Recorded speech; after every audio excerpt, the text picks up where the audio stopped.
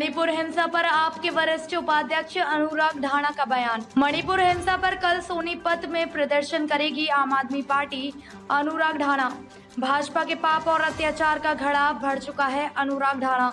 मणिपुर हिंसा पर केंद्र सरकार और प्रधानमंत्री खामोश हैं अनुराग ढाणा। मणिपुर सरकार को बर्खास्त क्यों नहीं किया जा रहा है अनुराग ढाणा? सांसद संजय सिंह जी ने मणिपुर की बेटियों के लिए आवाज़ उठाई।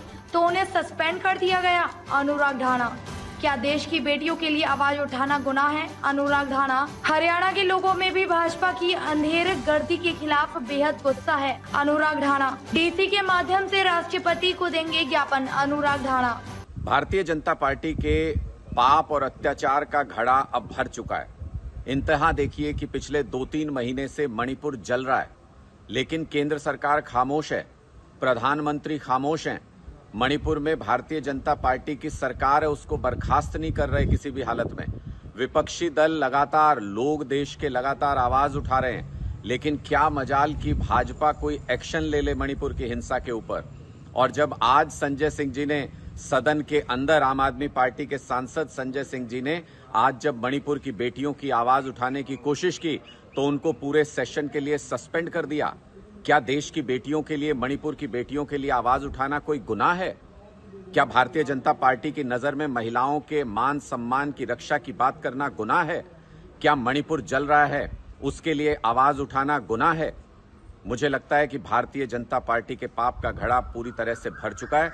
हरियाणा के भी गाँव गाँव में शहर शहर में, युवाओं में, महिलाओं में, बुज़ुर्गों में भारतीय जनता पार्टी की संधेर गर्दी मणिपुर की इस हिंसा के खिलाफ ज़बरदस्त आक्रोश और गुस्सा है। उस गुस्से को प्रदर्शित करने के लिए, उस गुस्से को देश की जनता के सामने, केंद्र सरकार के सामने रखने के लिए हरियाणा के लोग मिलकर के कल सोनीपत में एक बड़ा प्रदर्शन करने जा रहे हैं। एक आक्रोश प्रदर्शन, आक्रोश मार्च करने जा रहे हैं, जिसके ज़रिए हम राष्ट्रपति जी के पास ज्ञापन देकर के डीसी को राष्ट्रपति जी के पास संदेशा भेजेंगे कि हरियाणा में भी इस पूरे मामले को लेकर के ज़बरदस्त गुस्सा और आक्रोश है। इसको तुरंत मणिपुर की सरकार को बर्खास्त करके तुरंत कार्रवाई इस पर नहीं की गई और सदन के अंदर इस पर चर्चा नहीं कराई गई तो ये लोकतंत्र विरोधी है। ये देश की जनता के खिलाफ है। भारतीय जनता पार्टी के इस चेहरे को बेनकाब करेंगे और देश की जनता के आक्रोश को, हरियाणा की जनता के आक्रोश को कल सोनीपत में आक्रोश मार्च के ज़रिए प्रदर्शित करेंगे। ताज़ा अपडेट्स व बड़ी खबरों के लिए सब्सक्राइब करें आज प्रकाश टीवी और बेल आइकन